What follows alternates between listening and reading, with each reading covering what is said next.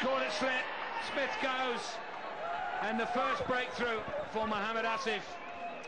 It's a very good delivery, but it was an excellent catch. Ball moved away off the seam. Smith followed it, got the outside edge, and a fine catch by Inzamam at first slip. He's having a very good day as the Pakistan captain. He batted well. That is a very important breakthrough. It's a big breakthrough that of Smith. He's capable of big scores. Clean him with a beauty. What a ball. Great stuff from Mohammad Asif. De Villiers all at sea. Milsom knocked over. He can't believe it. Neither can we. It's gone straight through him. It's pitched up. It's just stuck back a touch. But it's pretty much a straight ball. And AB de Villiers would have expected to get bat on that. He didn't at all. So he's gone for 15 after. Oh, big shout. Umpire not interested. Look pretty, pretty straight from up here, but that's up here. Let's see if we can find out precisely why Peter Parker wasn't interested.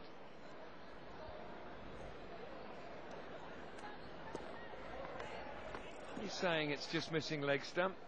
There was movement. Hawkeye agrees. A little bit of height involved as well, so not sure, not out. Out, slit. Did he deserve that wicket? It's been a fantastic over. Been given out. It's been really a superb over. And the fuller of all the deliveries gets the wicket. Wasn't the off cutter. That's what unsettled him. It left Gibbs not feeling confident against Asif. And eventually he plays a loose stroke and a good catch. Well, well, well. South Africa now five down. Only 50 out on the board. Well bowled Mohammad Asif. He deserved that.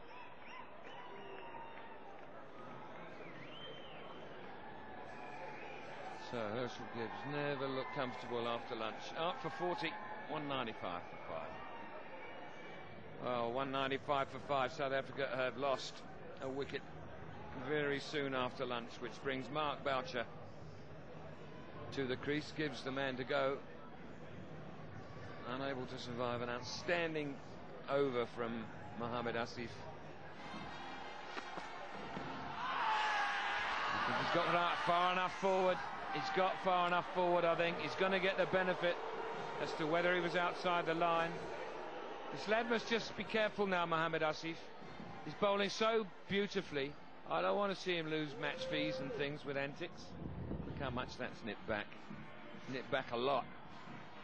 I can understand his disappointment. This looks so good the moment it struck Boucher. Closer inspection. My word. My word.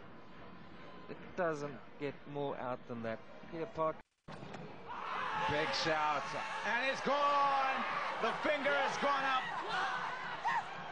Mohammad Asif gets his man and he gets a very, very big wicket. Second LBW, the first one was out as well. We'd have to have a look at this one. Jacques Kallis was a long way forward. Just depend on whether he got outside the line or not. Delivery was just coming back in. Hitting very low. Don't think there's any problem with that at all. That was every bit as much out as the Mark Boucher was. One was the over before. And uh, Asif gets his man. And a crucial wicket at that. Pakistan flag flying high and Jacques Kallis who got himself so far in on 91.